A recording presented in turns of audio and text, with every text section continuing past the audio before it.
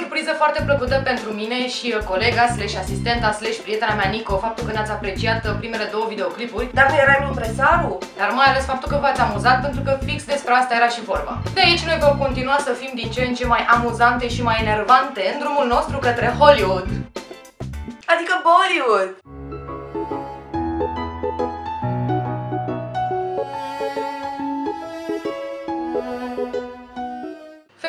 Luat-o vreodată razna când un tip a făcut un gest drăguț pentru tine? Bărbați, ați făcut vreodată un gest frumos pentru o tipă și a luat o razna? Te zici că e teleshopping. Știi de ce se întâmplă asta? Pentru că bărbații care fac gesturi frumoase sunt puțini. Femeile care apreciază gesturile sunt toate Nu știu cum să abordez încă. Nico, o să vorbesc despre femei sau despre bărbați?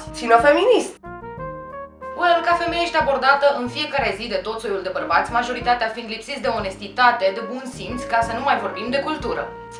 De când în când mai apare câte o nestemată, genul ăla de tip care pare să le aibă pe toate. Că, pe parcurs, te dovedește a fi un idiot, e partea a doua. În fine, lungesc preludiul sau o dau direct? Direct! Doi bă, băule, o ciocolată! Doi mă, frate, niște flori, așa că e miercuri! Te bați cu pumnul în piept că e mărul ochiului tău? Vreau să vorbe goale! Nada, nada! Zi, zi faza cu balonul! A, da. Un tip mi-a oferit odată un balon, un smiley mare cât un pepene de dăbuleni. El mai fusese drăguț cu mine și înainte, dar, ca să vezi, faza cu balonul mi-a făcut picioarele spaghete. Un gest foarte drăguț, da. E, pentru că se întâmplă rar, femeile o iau razna când bărbații fac un gest drăguț pentru ele. Mă iubește, mă iubește!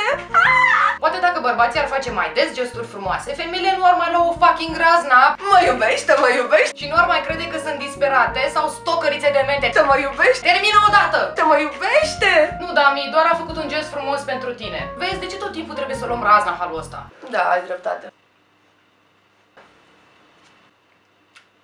Dar dacă îl ia de prost cu atâtea gesturi frumoase, îi se ia cu binele, după aia se învață. Echilibrul este cheia. Iar bărbații rare ori fac gesturi frumoase pentru că e riscant. Ce vrei să spună prietenii că e un papagal emotiv? nu știi că femeile sunt atrase de băieții gen bad boys, bad boys.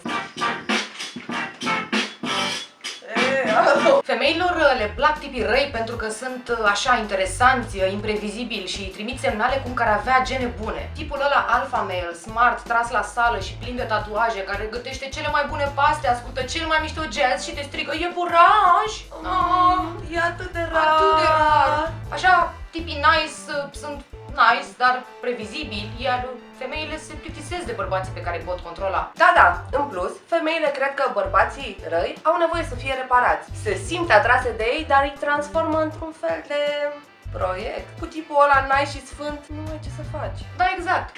E miră de ăștia nice. Echilibrul de mai sus. Ai uitat? Tocmai de aceea, cea mai bună combinație este tipul badass care face din când în când câte un gest frumos. Ambrozie. Drept urmare, pentru tipi, faceți gesturi frumoase mai des. Dar, nu prea des, să nu vă ia de fraier. Pentru femei, apreciați gesturile frumoase pentru că vin mai rar ca ziua de salariu. Dar nu săriți carața la muci. Mă iubește, mă iubește, mă iubește, mă iubește! Și faceți și voi un gest drăguț pentru ei.